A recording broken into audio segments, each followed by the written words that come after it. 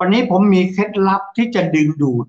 ให้คุณมีโอกาสคว้าเงินทอง และความมีเสน่ห์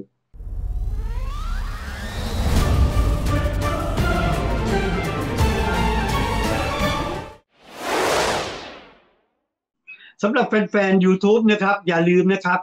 กด Subscribe กดกระดิ่ง เพื่อคุณจะไม่พลาดความรู้ดีๆ ที่ผมจะนำมาเสนอคุณ อย่าลืมนะครับ สวัสดีครับ กระแสน้ำเปลี่ยนวิถีชีวิตปลา กระแสเวลาเปลี่ยนวิถีชีวิตคน ทุกๆเดือน ดาวทั้งดาวโชคลาภดาวที่ไม่ดี มันก็เดินวนไป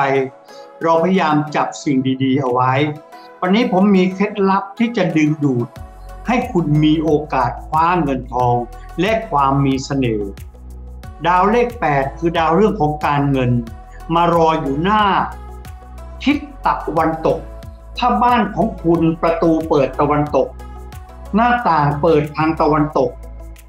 ให้รีบนำพัดลมไปตั้งไว้ แล้วในหนึ่งวันพยายามเปิดให้เข้าบ้านไม่ต่ำกว่าประมาณสัก 15 นาที แต่มีเคล็ดลับมากกว่านั้น ฝั่งตรงข้ามคือทิศตะวันออก ให้วางโต๊ะแล้วตั้งเจกันดอกไม้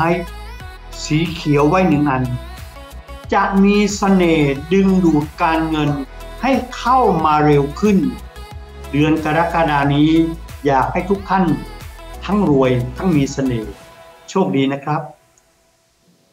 เอาละครับ แล้วอย่าลืมพบกับผมได้ใหม่ในคลิปต่อไปนะครับ อย่าลืมกดติดตาม กด Subscribe กดกระดิ่ง และกดแชร์ ช่องของผมที่ข้างล่างนี้นะครับ ขอบคุณครับ